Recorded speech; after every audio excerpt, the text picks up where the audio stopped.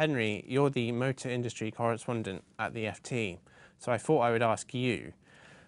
I have a UK car maker run by Germans, which makes most of its money uh, in China, and at the moment it's 100% owned by Indians. I'm talking about Tata Motors' 100% stake in Jaguar Land Rover, of course. I wonder, however, if it's time they should at least partly IPO JLR on the London market. Well, Jaguar Land Rover has been an amazing success for Tata Motors. I mean, why on earth would they want to divest?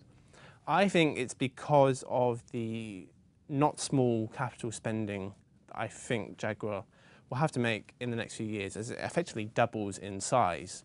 I mean, you know, currently it's making between 400 and 500,000 cars a year. By the end of the decade, I think it wants to make many more, you know, almost 800,000. Uh, that's a big uh, commitment in terms of capacity. Interestingly, JLR is independently financed, independently run. Uh, it produces operating cash flow of about three billion pounds a year. About 2.7 billion of that goes straight into investment.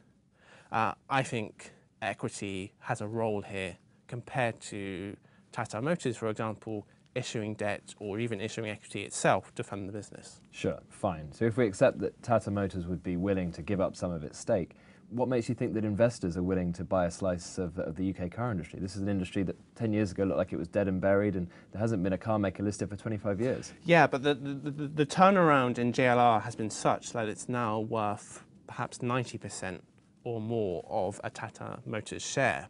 And I think if you're a UK institutional fund manager, um, to invest in Tata Motors at the moment, you have to do a very complicated sum of the parts valuation to get to your JLR exposure.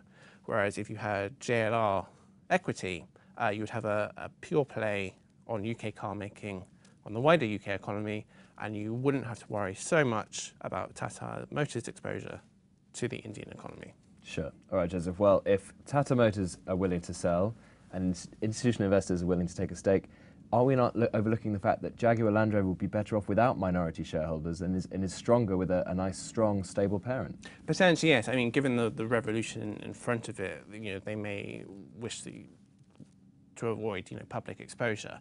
However, I think in terms of the, the, the, the sheer money that needs to be put into this business, especially considering the entire auto industry may be on the verge of a technological revolution. So there may be unexpected capital spending to make here. Mm.